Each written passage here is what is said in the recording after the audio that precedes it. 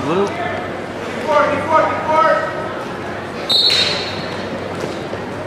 Two